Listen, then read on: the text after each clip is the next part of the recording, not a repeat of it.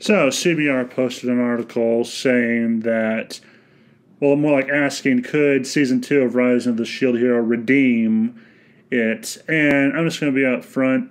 I hate CBR. I love Rise of the Shield Hero. I think it's an awesome manga. And it's probably one of my favorite mangas. It's either that or D Gray Man. But to also put my opinion on this short, the media has learned nothing from their attacks on Rise of the Shield Hero. Like, there are two things I believe in one is karma, two is the Streisand effect.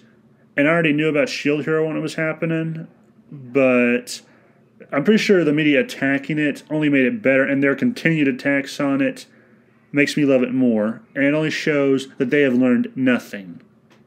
But then again, folks, the media is kind of like a Nephilim. It's giant, annoying, never shuts up, and every time it opens its mouth, the barrel of a pistol starts to look a little too friendly. And you're thinking to yourself, when is God going to strike this thing down finally? Or drown it with a flood?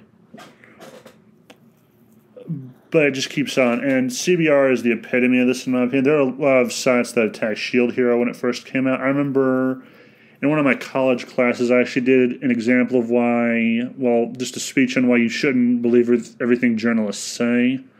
I was surprised the teacher allowed it, actually. I, I expected her to say hell no, or hell no. But she let me. I kind of rambled on, but yeah, Shield Hero was one of my favorite examples and yeah, it was just stupid. It was stupid then. It's stupid now. If you don't like the manga or anime, don't watch it or read it. But what these journalists do that kind of sickens me is people worked on this and they need to make money. So what they're doing is effectively trying to influence how much money these people make just because they don't like it or it touches on a subject they don't like, just because it makes them their side look bad. And by that I mean the Rise of the Shield Hero. For you, those of you who haven't read or seen the anime, it touched on the subject of false rape accusations. Now, regardless of how you feel on that subject, whether you think all women should be believed or should or shouldn't all be believed, that is irrelevant. It touches on the idea of it, which do happen. It's a it's a small case, though, from what I understand like compare it to instances where a woman was actually raped, yeah, the numbers are definitely in favor of the women who have been raped versus those who have lied about it.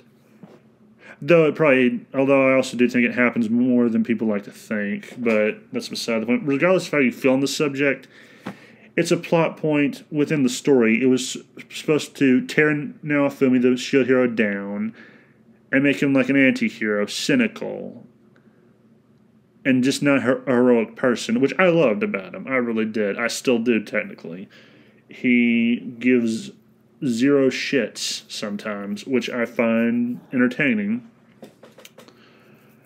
And the problem with these journalists is they also tried to equate it to, well, they brought the Vic Mignogna case, which was a bullshit case if I ever heard one. Everything I've seen of that guy is, is he's the nicest guy around, but eh. And to me, this just shows that they still want to just tear it down. I remember one of the reviews for it was burn and salt the earth. So it shows how malicious these bad actors are.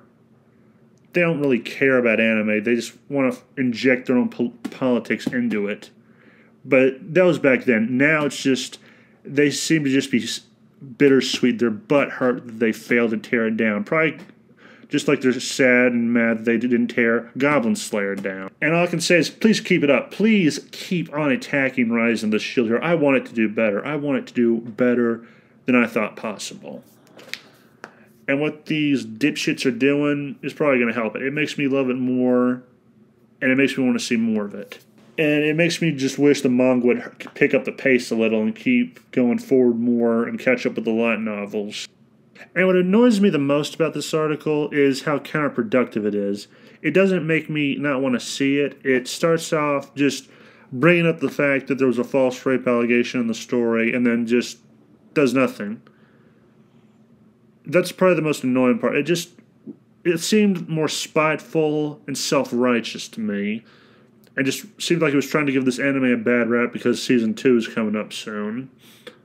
to which I can only say, CBR, thank you for once again proving what inept schlubs you are. No, not schlubs, schmucks. And yeah, please keep it up. Please continue to be so inept and stupid because I want the Shield Hero to do better, and your ineptitude is only going to ensure that. So yeah. But those are just my thoughts. Let me know yours, uh, and have a nice day. And remember, the game was rigged from the start.